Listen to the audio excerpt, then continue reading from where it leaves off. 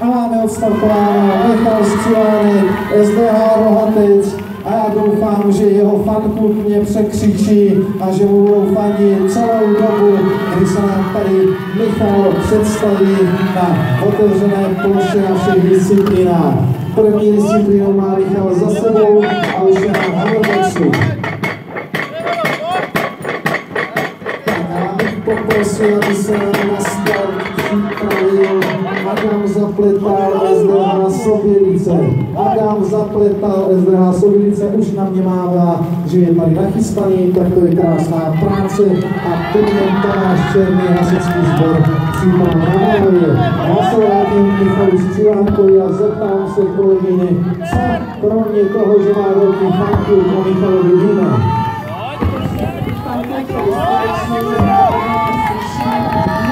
podporu závodníkovi. Michal toho moc nezmínil, pouze, že soutěží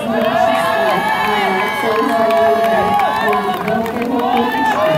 Věnuje se a dokonce má vlastní vinohrad. Tak to je krásná informace a doufám, že nás někdy Michal pozve do svého vinohradu, ale je pravda, že ten jeho fanklub je krásný a takový fanklub na soutěž rozhodně patří.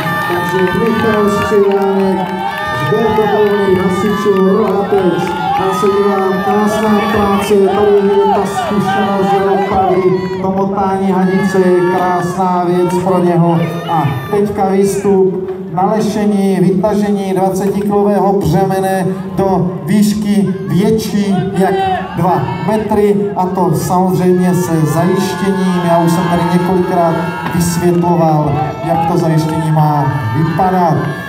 A Michal Skřivánek z Hradce už nám nastupuje na poslední disciplínu tady před věží a to je ležatý hammerbox, kdy musí závaží posunout za stanovenou metu.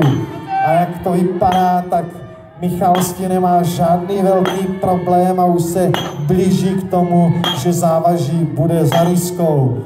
No a krásná práce, Michal vás plně tady do věže, takže počkáme si na to, až se nám Michal ukáže v prosklené části. Já si myslím, že to bude za chvíličku.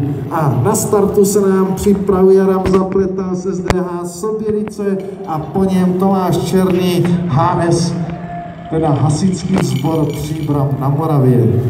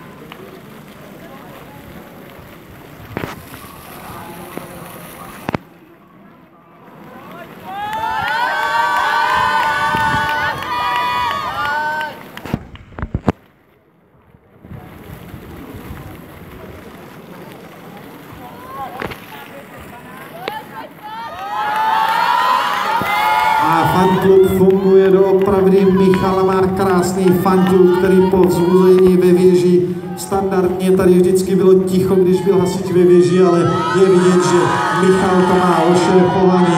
A poslední plošina věže a už nám bude Michal mačkat časoměru, takže za chviličku se nám ten čas zastaví a se dívám, že průběžný čas vypadá velice pěkně. 4.18